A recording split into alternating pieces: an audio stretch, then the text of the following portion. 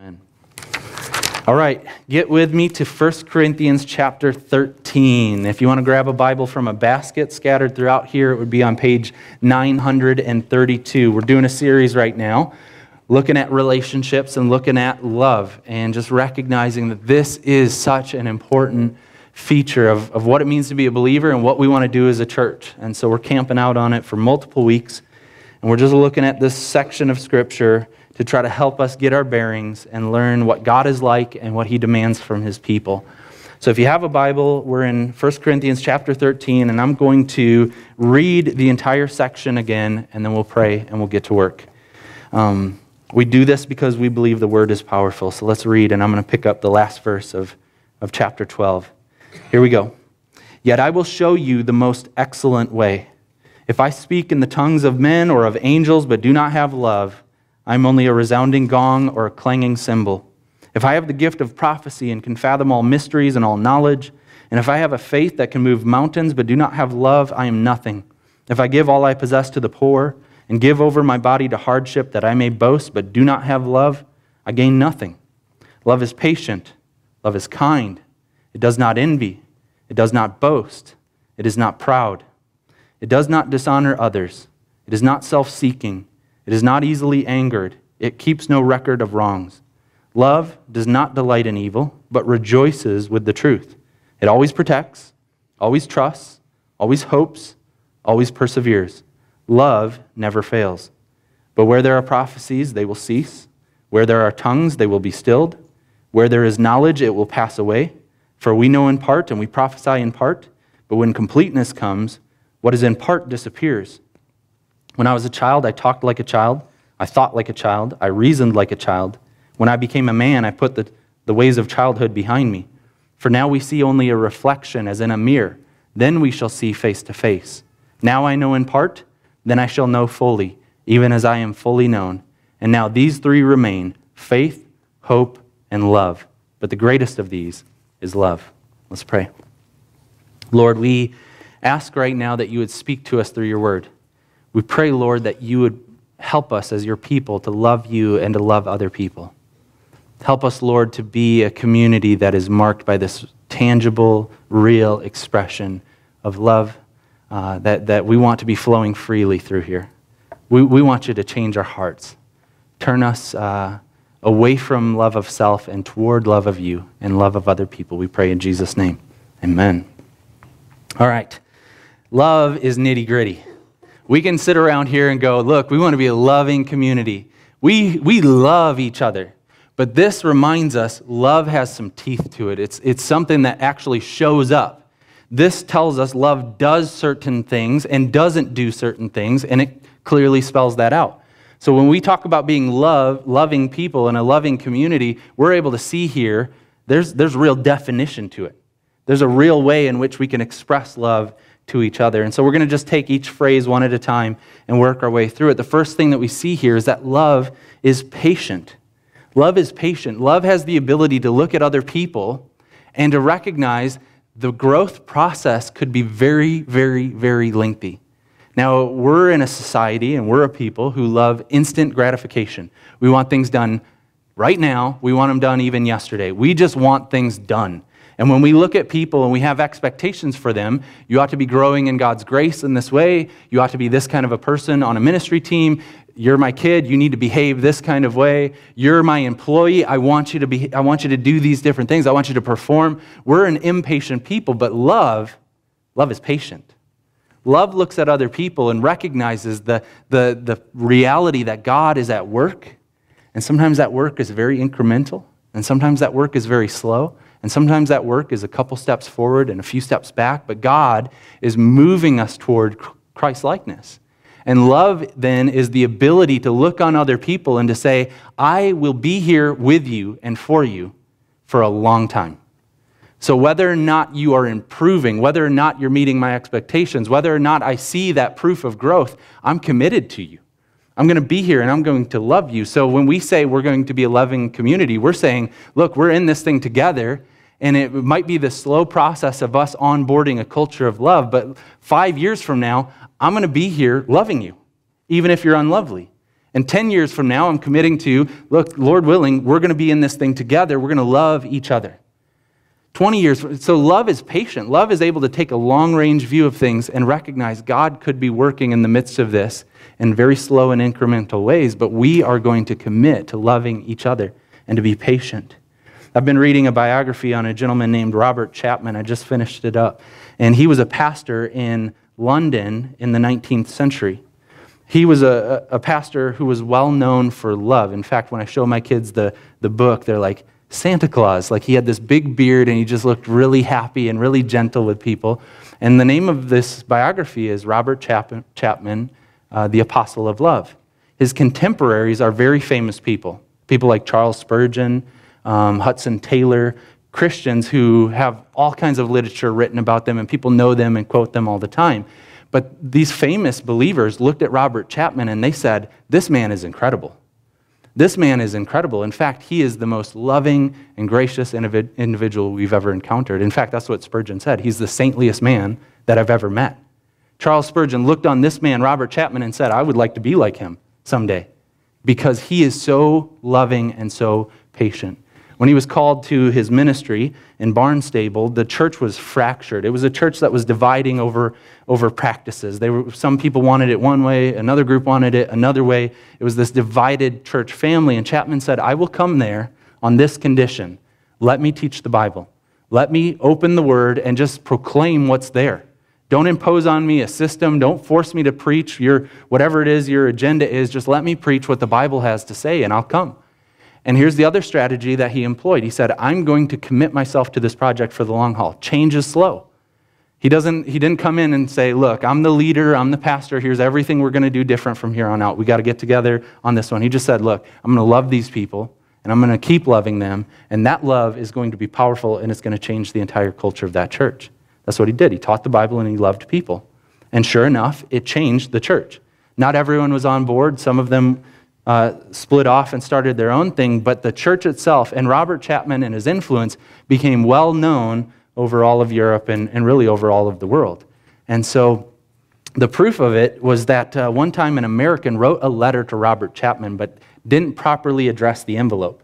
On the envelope, it just said, Robert Chapman, um, University of Love, which, by the way, that's not even a real thing. They were just acknowledging if you go hang out with Robert Chapman and his church, it's like going to school to learn about love. They just said, Robert Chapman, University of Love, London. And you know what happened to that letter? It got delivered because they knew, everyone knew, this guy loves people, his congregation loves people. They became well known for their love and their patience. And so, what I'm suggesting to us is that we would become a patient and loving group of people. What if we were patient with our kids? What if we were loving and patient with the people that we work with, where we're not going in and saying, Come on, guys, shape up. Can't you get with the program?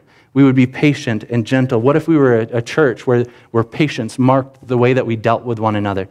That people who are slow in the process of growing in grace, that we're committed to them, and we don't have this fast track plan where they need to move on, where they need to grow or move on. We just love people. One of the best pieces of advice that I ever received was from a biblical counselor, and he, he was talking about ministry, and he said, No matter how successful you get, make sure that you always have a couple people that you're dealing with that are really, really slow in the growth and grace process. That'll keep you grounded. You just keep hanging out with people who are messy and slow in their becoming like Christ. And that'll help you. That'll help you big time. And sure enough, don't, we, don't, don't you feel that as God is maybe speaking to you, that God is saying, let's be a patient community of faith and let's commit to the good of people no matter how long it takes. And listen, we can do this because God has been so patient with us. If you think about your own spiritual narrative and you're realistic, you ought to be able to say, man, God has been very, very patient with me. There have been so many times in my life where I should be much further along than I am, and I'm not. And God continues to gently and patiently correct me and steer me toward Himself. Isn't that true? I mean, even if you've grown up in the church, that, that story, at least that's been my story, but I think most of us can say God has been incredibly patient. That's the way that He works. Just think with me about Moses 40 years in the palace, 40 years in the desert wilderness, 80 year old getting his ministry assignment. That's the kind of God that we deal with, who's saying, I'm not going to fast track this thing. I'm working in the midst of all of this to bring about glory for my son. So let's be a patient people who love well and are persistent in our love. Love is patient. Love is kind. Look at verse 4. Love is kind. Love is this ability to have a tenderness and a gentleness, to be able to speak words that are building up. There's this kindness about love. Lewis Smedes calls it this. He says, Kindness is the power to move someone who's self centered toward the weak, the ugly, the hurt, and to invest in personal care with no expectations of reward. Love, when it shows up, it moves toward people who are in need. It says, Look, I don't expect you to pay me back. And I don't see something in you that's an advantage to me. I'm just going to be kind to you. I'm going to move toward you and I'm going to speak words that build you up. And I'm going to say things in a way that's tender and compassionate. And I'm going to do that with a gentleness. And you might hear that and go, oh, that's not my personality. And I'm not even sure that's a good idea. If we really want to move stuff forward as a church, we better just like take some leadership initiative and just make things happen. If people don't want to be a part of that, that's on them, but let's just make this happen. Kindness just kind of feels like wimpy. It feels like, are you sure that's what you want to be doing? But, but um, man, kindness is hard. The truth is, it is hard to be kind, and it's hard to be gentle. Ray Ortlund puts it like this Gentleness doesn't lower our standards, it doesn't compromise anything. Gentleness is a very high standard, it's, it's very demanding. Harshness is the thing that's easy. Isn't that true? It's much easier to react and to be harsh and demanding than it is to say, I'm going to love you, and the words that come out of my mouth are going to be words of encouragement, tenderness, gentle, words of kindness. I'm going to love you. That's what we're after here. We want to be a community where words like that are coming out of our mouths and it is building people up. Robert Chapman, as I told you, he led this church to be a place where love was well known, where people would come in, they'd open their homes, missionaries would stay with them for encouragement. He always had these kind words that he would speak over people. But, but one of the things that was remarkable was how they handled the difficulties with their facility. In fact, the group that splintered off eventually came back to Robert Chapman and the congregation that was meeting in that building, and they said, You guys need to hit the road. You have to vacate the premises. You, we, when we purchased this building as a denomination, we put it in our documents that there were certain things we needed to do, and you're not doing that. You're not meeting the expectations for which the facility was purchased. And Chapman's like, Dang, okay. So he goes back to the, to the, to the deed and he's looking it over and he's looking over everything. And he goes, Guys, they don't have a case against us. They could, we, it's our right to be here. We're not in violation of anything. But he looks at his church and he says, Here's what we're going to do we're going to give them the building. We're going to leave here. We will meet in rented locations. We'll give them the building. We'll let them take over. We're going to express kindness to them. We're not going to fight for our rights. We're not going to demand that this is an injustice and we need to stay here. We're just going to gift it to them and move right along. And the whole church was like, All right, we're on board. We'll do that. And they left that facility. And then the church got healthier and it even grew more. And so then they're looking, okay, we have resources and we can buy a piece of property. Uh, and they found the perfect location. It was right on a main street, right in a corner of town where they could do some, some social ministry and reach a bunch of people. And they said, We're going to buy this piece of land. It's perfect for us, for our congregation. We'll build our new facility. And they started the process of, of uh, the sale and they were going through it and another denomination comes in and says, uh, I'm sorry, guys, we actually have intended to buy this and we're already in the process. And so we're going to we're to purchase this land. We're sorry for you guys. And again, Chapman goes to his congregation. He says, Here's the story. Uh, this other congregation is coming in and they want to purchase the land. And we could fight for it, but I don't think that would glorify God. What if we behave in a way that is loving toward them? What if we celebrate that God is working through them? What if we continue to rent for a season, trusting that God is going to provide for us and celebrating that God is at work in these other congregations? What if we're kind? And sure enough, that's what they did.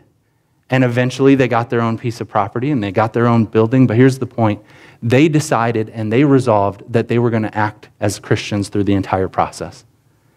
A lot of times we can get really messed up because we demand our rights. And as Christians, we don't behave in a way that's ethical or right or godly or loving simply because we want what we want. But love is able to be kind and it's able to be gentle. Now, listen, what if we decided that's what we want to be as a people? What if that's the kind of employers we want to be? So that people work for us because we look at them in the face and we love them. We speak words of kindness to them. We build them up. And they say, I want to work for you, even if it means a pay cut, because this environment is so healthy and so good, and you actually care about me. What if we were that kind of people? What if we were kind to the coworkers that are so difficult? Right? They just grate you and they get under your skin, and you're like, I can't, I can't work with these people. But we say, as Christians, here's what we're going to do we're going to love. We're going to continue to be patient and gracious and kind. We're going to love and we're going to just keep loving and we're going to pour out that love freely, even if there's no progress in their growth or even change or even them becoming more humane and more tolerable in the workforce. We just say, this is what we're going to do. What if our homes were marked with kindness? What if, you, what if we came home to places where we just spoke to one another in such encouraging ways that you just feel like, I'm on top of the world? Like I can, I can conquer anything because I come home to my sanctuary and, and there's just love flowing freely within the family. Kids would thrive, uh, marriages would thrive, our church would thrive if we were committed to this idea of loving. Love is kind. Love does not envy. Look at verse 4. It doesn't envy. Envy is when we look at something and we go, that should be me. I wish that were me. When we envy, we're looking at other people, and, and one of the expressions that reveals that we're not loving is when we look at somebody else and we go, I want that. Instead of saying, I'm content and I celebrate what God's doing in your life. Love is when we're not envious, when we're looking at other people and we're going, That's awesome that God has so richly blessed you, and I am totally comfortable in my own shoes. Envy is when we look at something we go, that ought to be me. Why do they get to do that? Why is it? And we make all of these excuses of why they don't deserve it and why we do. But love is able to be content and it's able to celebrate other people. I was thinking this week about an experience that I had, and it's maybe one of the more profound experiences I've had in my spiritual growth. I, I didn't have the normal process of going into ministry. A lot of people will feel called to ministry, they'll go to a Bible college then maybe seminary, they'll do their formal training on the front end, and then they'll get unleashed on the church. And then they'll have to rethink everything and, and get back on track. But here's my experience felt called to ministry at 18, started a sports ministry at 20, realized I was an idiot, and then started doing training. And along the way, I'm still doing ministry and I'm onboarding the training. And um, and, and I felt like I was learning new things about God, and I was getting very excited. I was falling in love with His Word, and I was falling in love with church and global missions and a theology of suffering and all these different things. And, and I just felt like, man, this is awesome what I'm learning about God, and I'm so excited to share that with God's church. And it's going to be such an awesome thing for me to be able to do this and, and for God to be glorified through me and my ministry. Here's what I was doing I'm putting my cape on, and I'm like, this is going to be awesome, and I'm going to change the world for God's glory. And then one night, I was at my parents' house and I, got, I was on the computer and I was just looking at some stuff I normally look at, and this article shows up, and it's a Time Magazine article. And here's what I was doing I thought that I was unique. I thought I was the only dude, young adult out there who's like falling in love with God like this. And so I'm God's gift to the church. So I'm reading this article, and here's what I found out there's an entire movement there was this entire movement of people who were getting serious about the things of God, that were falling in love with the Bible, falling in love with missions, falling in love with the local church, developing a theology big enough to handle suffering. All of these people were already way ahead of me. In fact, most of them were five to 10 years older than me and five to 10 years further along in their ministry assignments. You know what that did to me? Crushed me. I was sitting there reading an article and I was sad. I was broken over the fact that I'm taking my cape off right now. I'm not the hero in this story. There's a bunch of other people who are already doing this. Isn't that weird? But that's what envy does. It looks at other people and it says, that ought to be me. I ought to be the hero in this story. I should be the one who's doing these different things. Here's what love is able to do it's able to look at other people and say, if they're doing it, I celebrate it. And if I'm not even a part of it, that's okay because God loves me and has called me and redeemed me. And whatever ministry assignment He's gifted to me, I'm going to thrive there. I'm going to live there. I'm going to do that. But envy is dangerous, isn't it? And it shows up in so many different ways. When you hop on social media today, what are you going to do? Do you watch all these, you know, highlight reels of people's lives and you look at these pictures and you're like, are you kidding me? You're on another vacation? Are you kidding? How can you afford? Do you ever even work?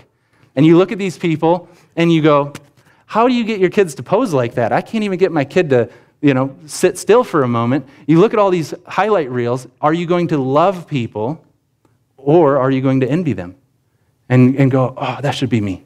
And, and be discontent, because here's what that is that's unbelief. That's telling God, you're not doing a good enough job. You're, you're steering the blessings in the wrong direction. They ought to be over here. And so, what we need to do then as a family of God is to commit to when, when we hop on social media, it's going to be a spiritual discipline, and I don't believe it's easy, but when we hop on social media, what, what should we do? We should celebrate the gifts of God in the lives of other people. Now, that's hard, but here's what I think it would look like.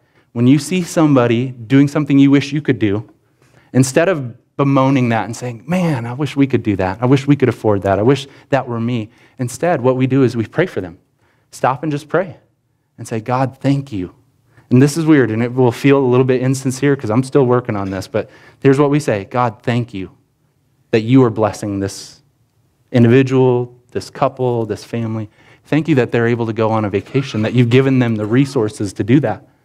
Thank you that they have an opportunity to grow their marriage and to develop their, their relationship with their kids. And thank you that they're able to experience you in such a beautiful way. What if we stopped every time we saw something and instead of letting envy rule the day, we began to praise God for his blessings in the lives of other people? That's love.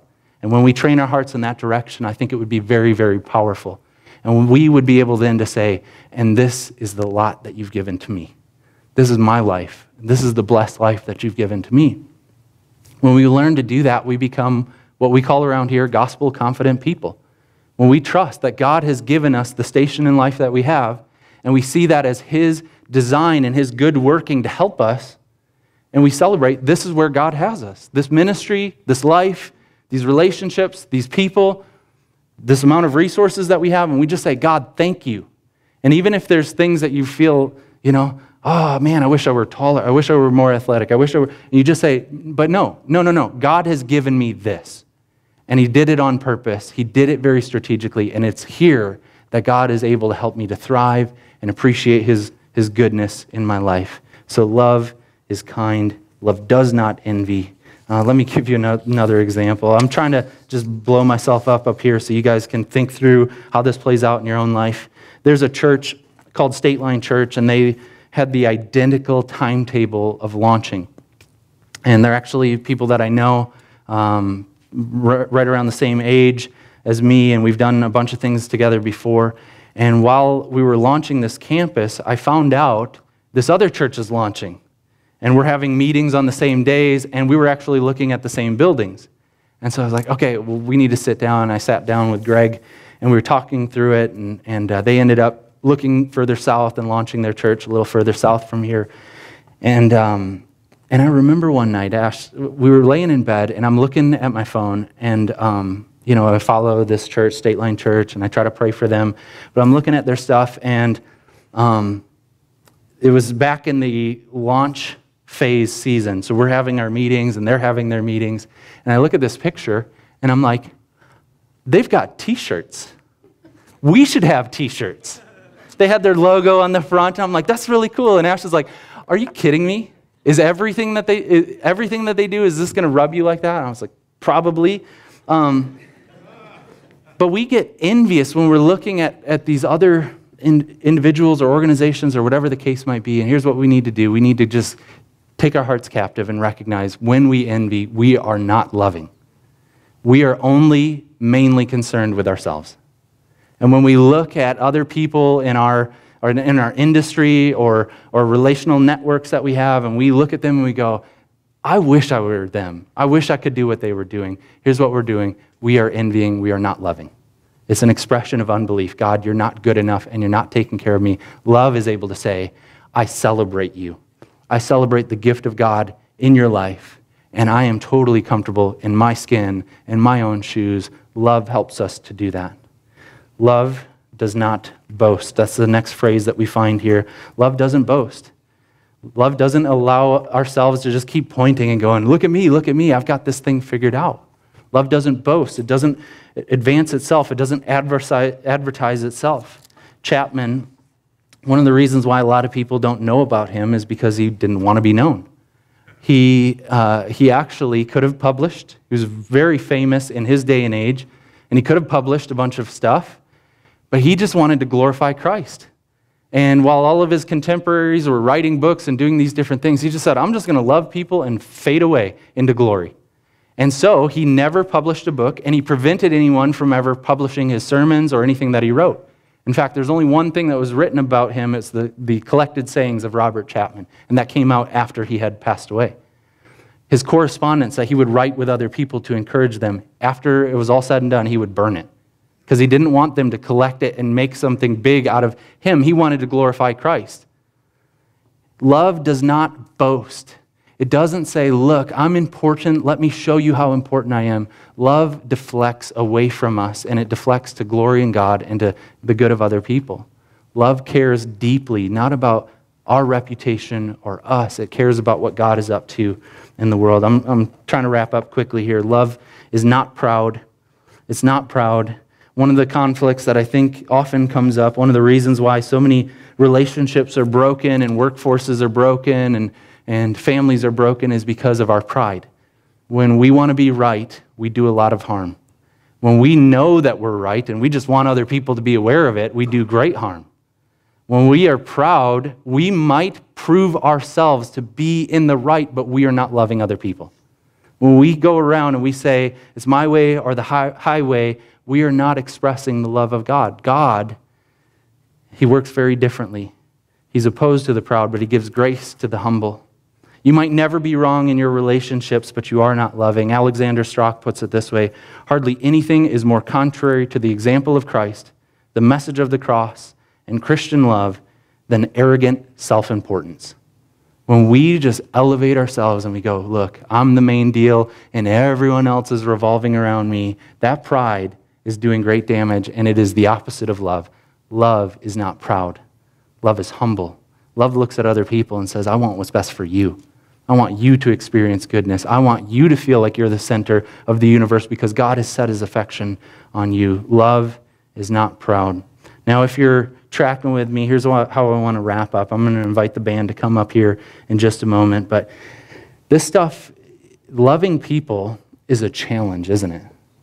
Aren't we selfish? And don't we struggle with this? And aren't we envious and proud and self important? The way forward, as I suggested last week, and will probably be my, my closing every week, the way forward, we got to keep looking at Jesus. We have to look at what he's done for us and appreciate and, and live in that, and that'll help us to love other people. John 15, Jesus was talking to his disciples, and he put it this way He was, he was um, helping them to understand what love is and how it works and how to obtain it. And he tells them, Here's my command. My command is this love each other as I have loved you. Love other people the way that God has displayed his love for you. He goes on to say this Greater love has no one than this, to lay down one's life for one's friends. You are my friends if you do what I command. The way that we are going to grow in love is when we look at the one who's loved us so well who's been so insanely patient with us, so tender and kind to us, who wasn't puffed up, but what did he do? He, he humbled himself to the point of death on a cross. When you begin to comprehend and, and take hold by faith of what Christ has done for you, you will understand what love truly is, and that love will help you then to love other people. So let's pray that God would help us with that right now. Lord, we acknowledge our own selfishness. We acknowledge that often we're just cruising through life trying to make it work for us, and we're not very loving. But God, we aspire to be a people that are loving. We, just, we, we aspire to be a community that's loving, and we need your help. So, in a moment like this, we're going to lift our voices again, and we pray that you would help us to truly believe the gospel, that we would believe your love that was displayed perfectly at the cross of Jesus Christ, and that would change us so we could lay down our lives for other people. Help us to believe. Help us to follow your commands. Help us to be your friend. Help us to love. In Jesus' name, amen.